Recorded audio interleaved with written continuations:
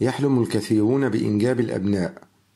ومع أن هذا الحلم هو سهل المنال عند العديد من الأزواج إلا أن البعض قد يواجه مشاكل إنجابية تضطرهم للجوء لتقنيات الطب الحديث والتي وعدت ووفت بوعدها لكثيرين قبلهم وذلك عن طريق ما يسمى بالتلقيح الاصطناعي. سوف نتناول اليوم نوعين من التلقيح الاصطناعي هما التلقيح داخل الرحم وأطفال الأنابيب. أما بالنسبة للتلقيح داخل الرحم هذا النوع من التلقيح يتم إدخال الحيوانات المنوية من الزوج في رحم المرأة عبر أنبوب طويل ورفيع ويفضل استخدام هذا النوع من التلقيح في الحالات التالية. إصابة المرأة بنوع من الالتهابات في عنق الرحم نقص في عدد الحيوانات المنوية عند الرجل. ضعف في حركة الحيوانات المنوية عند الرجل. ضعف الانتصاب عند الرجل. إصابة الرجل بحالة القذف العكسي وهي حالة يعود فيها المني المقذوف إلى المثانة بدلا من الذهاب إلى العضو. ومن الممكن الخضوع لهذا النوع من التلقيح بالتزامن مع أخذ دواء يحفز عملية التبويض.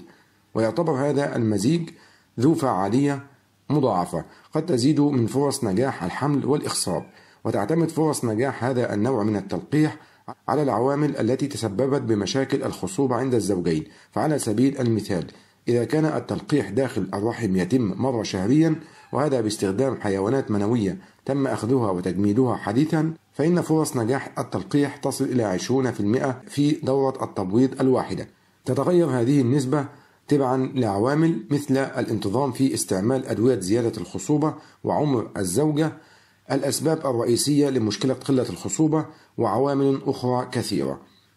التلقيح عن طريق الأنابيب. في هذا النوع من التلقيح يتم وضع البويضات والحيوانات المنوية سوية في حاضنة لفترة من الزمن ليتم التخصيب في ظروف مخبرية دقيقة وحساسة.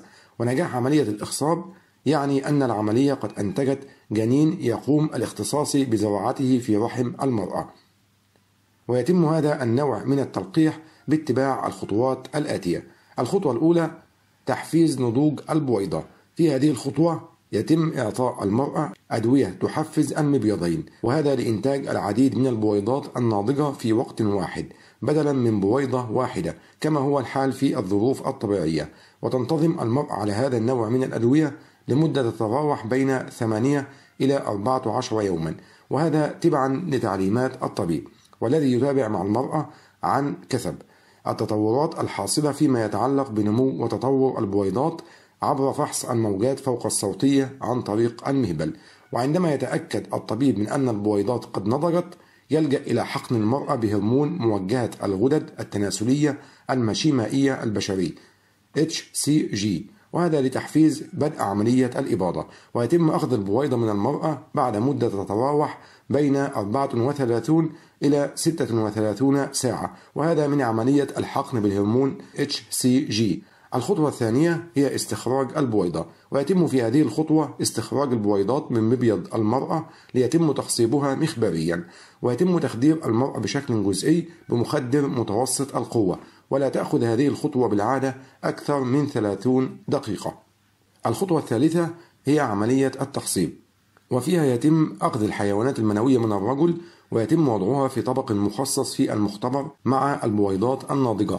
وتترك هذه في الحاضنة بعد خلق كافة الظروف الملائمة لليلة كاملة. وبالعادة تقوم الحيوانات المنوية بتخصيب البويضات الموجودة في الطبق بشكل طبيعي وبنجاح دون أي تدخل خارجي. ومع ذلك في حالات استثنائية قد لا تتمكن الحيوانات المنوية من تخصيب البويضة بشكل طبيعي. وهنا يتدخل الأخصائي ليقوم بحقن البويضة بالحيوان المنوي عبر حقنة مجهرية خاصة. وهنا يقدر التنويه إلى أن عجز الحيوانات المنوية عن تخصيب البويضة بشكل طبيعي قد يكون إشارة تحذر من وجود خلل في الكروموسومات. وهنا يفضل أن يقوم الزوجان بإجراء كافة الفحوصات واللازمة لاستبعاد هذه الاحتمالات.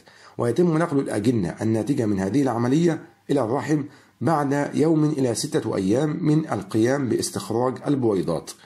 الخطوة الرابعة هي عملية نقل الأجنة.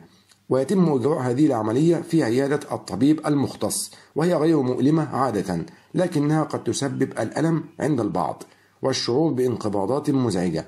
وهنا يقوم المختص بإدخال أنبوب طويل ورفيع عبر المهبل إلى الرحم ليحقن الجنين في الرحم. ومن الجدير بالذكر أنه قبل اللجوء لأي نوع من أنواع التلقيح الصناعي يجب أخذ رأي أطباء موثوقين وإجراء التلقيح في مراكز مرخصة وموثوقة وهذا لزيادة فرص نجاح التلقيح والحصول على المتابعة الطبية الملائمة وهذا تبعا لكل حالة.